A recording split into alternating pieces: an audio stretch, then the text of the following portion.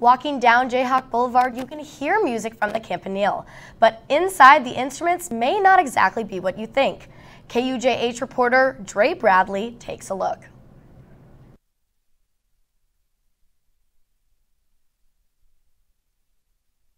The Campanile is one of KU's most historic landmarks, with the names of fallen World War II soldiers forever etched in stone. But above, an instrument called the carillon makes this building even more special.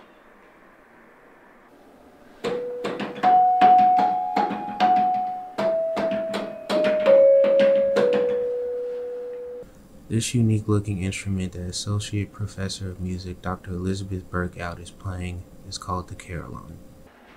These keys are connected to xylophone bars. So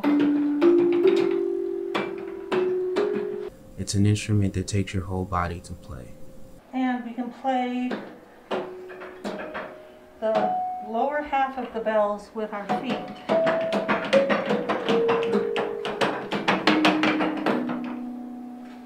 Dr. Berghout was previously in the practice room playing on xylophone keys.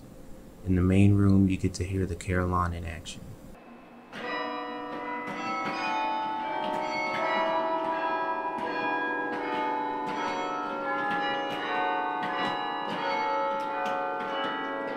Graduate student Alyssa Dye is not a music major, but she still finds a connection between the Carillon and counseling psychology.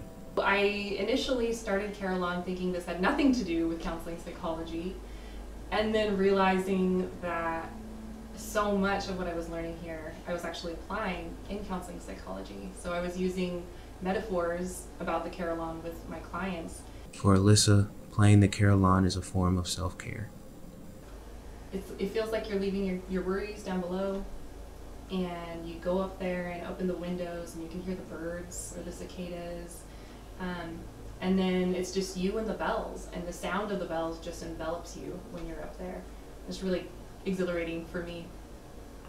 Concerts are held at the campanile but despite sparse crowds dr berghout still enjoys performing. Sometimes i forget that there's an audience because I'm up in the tower and I don't see who's out on the ground who might be listening. Uh, so sometimes it's I feel like it's a private concert for myself. For KUJH, I'm Dre Bradley. Concerts at the Campanile are held every Sunday at 5 p.m.